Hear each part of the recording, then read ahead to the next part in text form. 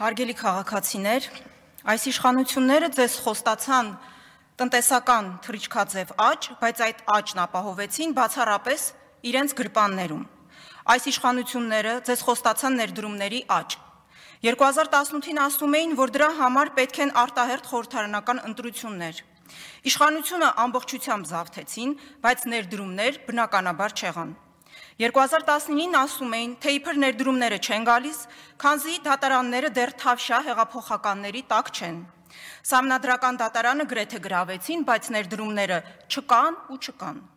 2020-ից հետո էլ ասում էին, թե հեսա ներդրումները գալու են, քանզի Ադրբեջանի ու Թուրքիայի հետ բաց սահմաններն են նպաստելու դրան։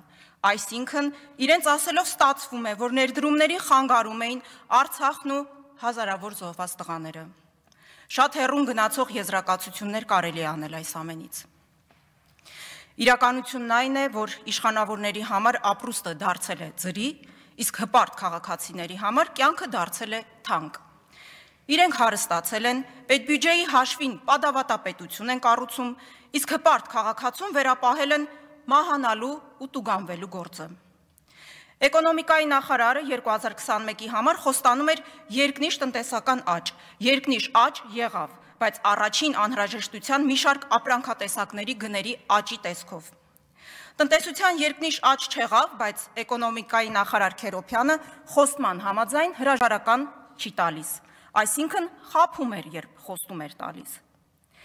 Իդեպ նա օրիգինալ չէ խոստանալու ու չանելու կամ խոստացածի հակառակն անելու հարցում։ Ես հիմա կհիշեցնեմ, թե ինչ էր խոստանում Նիկոլ Փաշինյանը վարչապետ դառնալու ճանապարհին ու վարչապետ դառնալուց հետո։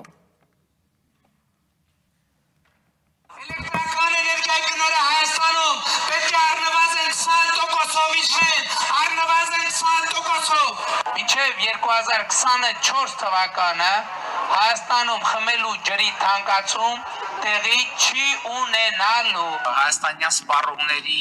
համար գազի գնի փոփոխություն տեղի չի ունենալու։ Մենք իհարկե ամեն ինչ անում ենք, որպեսզի սպառողների համար հավելյալ խնդիրներ չստեղծեն։ Ինչպես հայտնի է, գազն էլ, հոսանքն էլ, ջուրն էլ հակառակ Փաշինյանի պնդումների թանկանում են։ Հարգելի քաղաքացիներ, թույլ մի տվեք, որ ձեզ խափեն։ Եղեք պահանջատեր ձեր իրավունքների պաշտպանության հարցում։